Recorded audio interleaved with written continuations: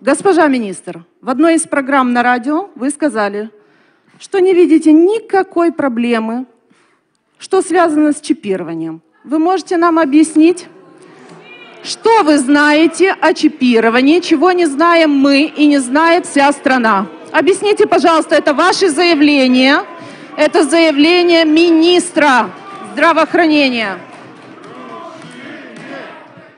Stimați colegi, stimați colegi, stimați colegi, vă rog calm, calm, vă rog, vă rog, vă rog calm, colegi, colegi, vă rog calm. Domn Șpac, vă rog frumos, vă rog frumos, doamna ministru, vă rog. Vă rog, calm, calm, revenim, revenim. Deci se poate să răspund? Da, liniște vă rog, haideți să ascultăm. Deci, eu vreau să vă spun că sunteți meșteri la scos din context, fiindcă fiecare care a auzit tot interviul a știut la ce mă refer.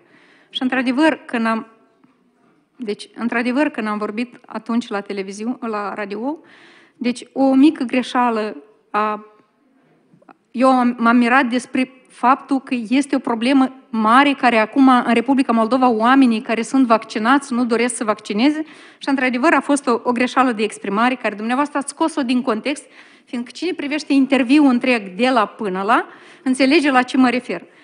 Dumneavoastră ați scos din context patru cuvinte și eu, neajungând de la radio până la Ministerul Sănătății, el deja era rupt, filmat și pus pe tot netul. Și vreau să vă spun, exact o să vă citesc cuvintele unui coleg de-a dumneavoastră, socialist, care mi-a spus odată într-o sinceritate, Ala Mihalna, вы нам стоите, как целая партия, столько вы денег нам стоите.